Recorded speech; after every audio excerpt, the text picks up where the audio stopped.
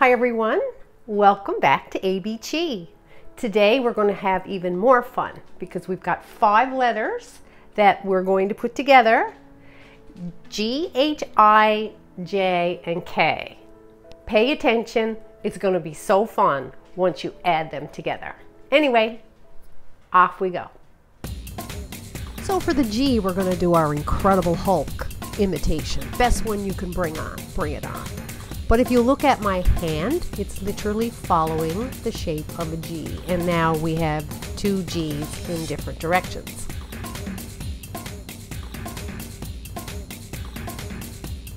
Let's look at the letter H. Uppercut, uppercut, and a cross. Uppercut, uppercut, cross, twice. So we're literally following the letter H, and you just have uppercut, uppercut, cross twice, and change sides. The letter I is pretty straightforward. It's simply bicep curls, with or without weights, it doesn't matter.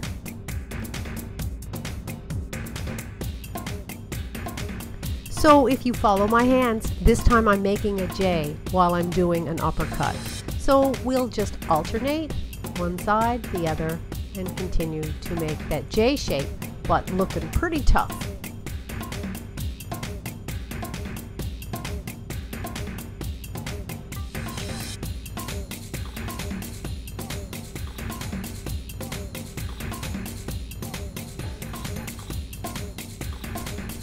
This time we have to fight two guys behind us.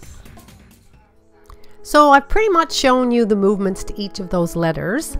And I think what we'll do is tomorrow I'm going to put the whole thing together from A right up until K. But in the meantime, practice each individual one and let's see what we can come up with because they're really fun when they come together. Thanks for watching and we'll see you tomorrow.